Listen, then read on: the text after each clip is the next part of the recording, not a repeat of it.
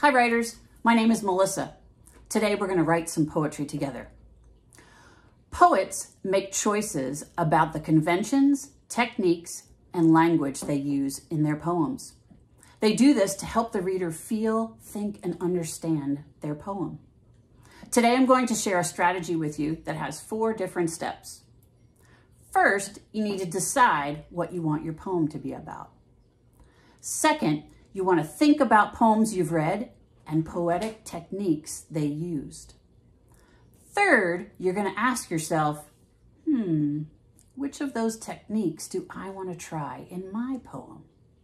And then finally, you'll decide on one and give it a go. I'm going to share with you a poem that I wrote earlier today.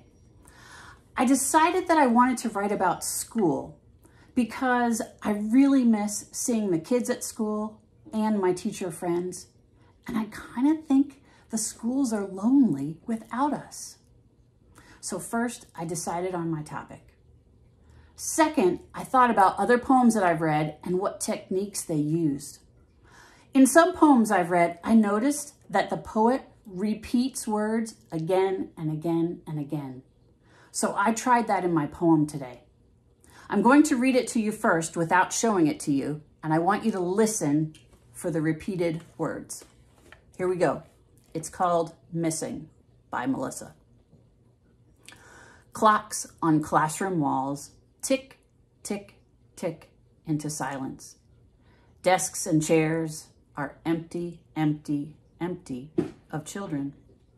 School hallways and classrooms are clean, clean, clean and ready for all the kids and teachers dreaming, dreaming, dreaming of a new school year. Did you hear the words I repeated? I'm going to read it to you one more time and let you see the poem. Missing by Melissa. Clocks on classroom walls tick, tick, tick into silence. Desks and chairs are empty, empty, empty of children.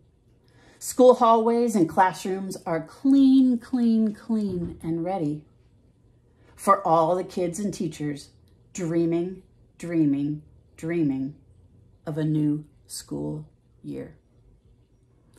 Did you see my repeated words? Tick, tick, tick, empty, empty, empty, clean, clean, clean, and dreaming, dreaming, dreaming. I thought it was really important what I wrote about today, so I chose to repeat those words three different times. So now it's your turn to try. Think about what you want your poem to be about. Think about other poems you've read and techniques that they've used.